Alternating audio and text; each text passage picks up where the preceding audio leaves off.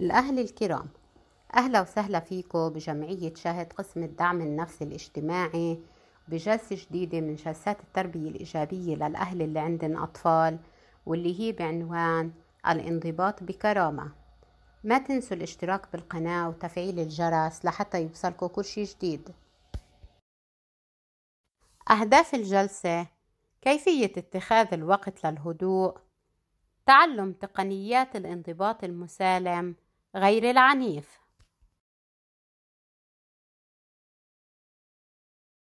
هل تتذكر الإجهاد السام؟ بس يمر الأطفال بانضباط بدني حاد العنف الإهمال السخرية بيعاني الأطفال من الإجهاد السام. ممكن للإجهاد السام يأثر بشكل سلبي على نمو عقل الطفل بزيد مخاطر الأمراض وبيأثر كمان على قدرة الطفل بحل المشاكل حتى لما يوصل لسن البلوغ. بتعلم الأطفال إنه العنف طريقة مقبولة بالتصرف بحالة العصبية. لهيك من المحتمل يستعملوه للعنف كمان بس يمروا بحالة عصبية.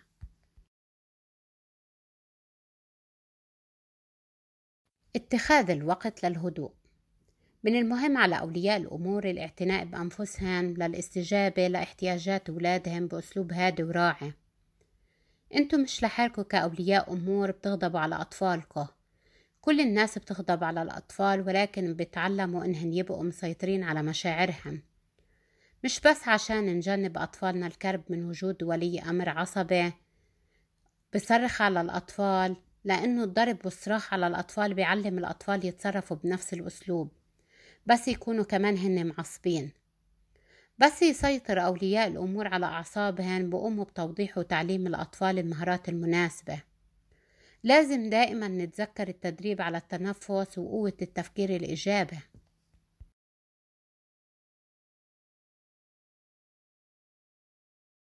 تقنيتين للانضباط المسالم الغير عنيف. هاو التقنيتين بيعززوا المحيط الراعي اللي هن التقنية الأولى الإهمال والثانية الذهاب إلى زاوية الغرفة.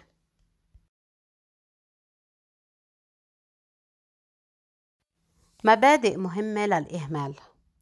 إهمال السلوك السيء الغير مضر بالطفل أو بالآخرين اللي هو بالعادة نوبة غضب إذا صار ابنك يبكي لأنه بده شي بالطريق مثل قطعة حلو أو غيره ما معك مصاري ما تهتم لبكائه. ما تحكي شي ما تطلع بالطفل وما تبتسم. محتمل إنك تدير ظهرك كمان. ما بتحتاج للضرب والصراخ على الأطفال.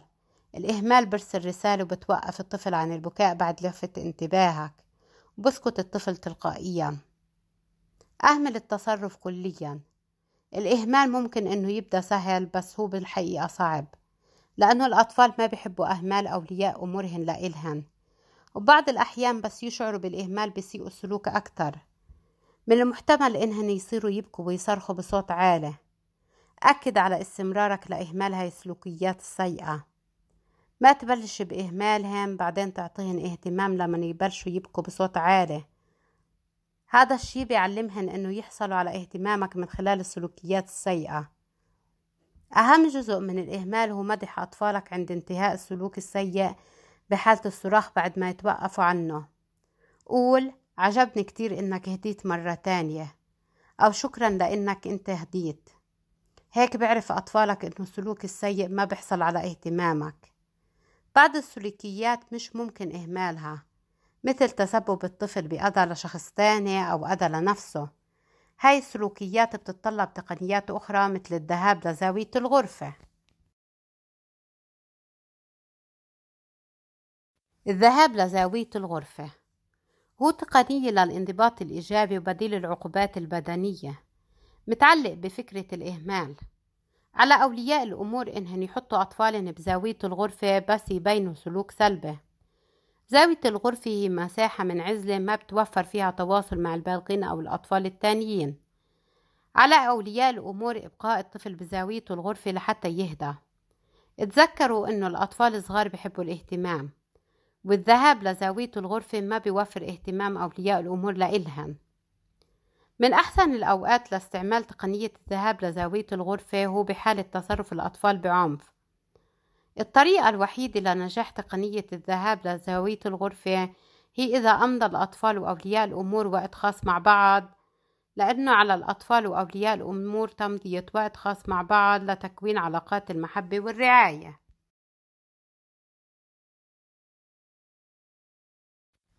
نجاح الذهاب لزاوية الغرفة عند اتباع أولياء الأمور الإرشادات التالية. ما بتنجح فكرة الذهاب لزاوية الغرفة للأطفال الأصغر من ثلاث سنوات؟ لأنه الأطفال بهذا العمر بيحتاجوا لمساعدة أولياء أمورهم ليهدوا. من الأفضل استعمال طريقة لإلهائها والأطفال أو إعادة توجيههم بتنجح فكرة الذهاب لزاوية الغرفة للأطفال ما بين 3 ل 10 سنوات. من الأفضل استعمال الإهمال والعواقب للأطفال بين 11 و 12 سنة. لازم نتأكد من شرح أسباب الذهاب لزاوية الغرفة بصورة واضحة مثل أنت ضربت أخوك وهذا سلوك غير مقبول لهيك عليك الذهاب لزاوية الغرفة. اتأكد من وجود مساحة مناسبة للاستعمال كمساحة للذهاب لزاوية الغرفة لازم تكون المساحة هادية وبعيدة عن الأشخاص اللي عم يشاركوا بأنشطة ممتعة. كل أفراد العيلة عليهم فهم واحترام قواعد الذهاب لزاوية الغرفة ولازم يمتنع الجميع عن الحديث أو الاختلاط مع الطفل اللي بالزاوية لحتى يهدى. إذا بتقدروا خصصوا وقت للذهاب لزاوية الغرفة. بتطلب الأطفال ثلاث دقايق تقريبا ليهدوا ويرجعوا. على أولياء الأمور إعادة مشاركة الطفل بعد هدوءه وتوفير الانتباه للسلوكيات الجيدة اللي عم بيقوم فيها بعد انتهاء مدة زاوية الغرفة. بتنجح فكرة الذهاب لزاوية الغرفة للأطفال اللي بيستخدموا سلوكيات عنيفة.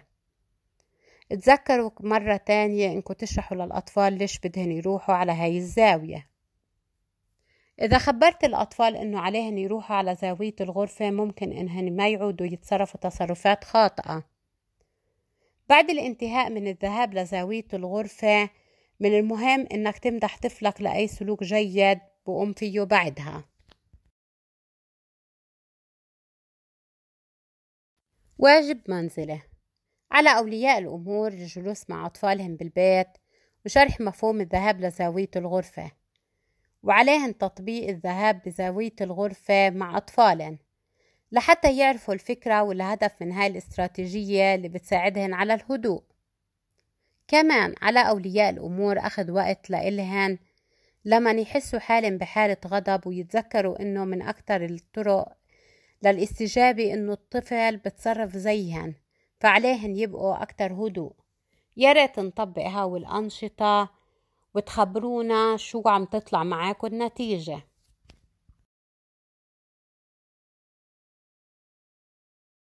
أحبابي إذا عجبكم الفيديو ما تنسوا الاشتراك بالقناة وتفعيل الجرس لحتى يوصلكم كل شي جديد.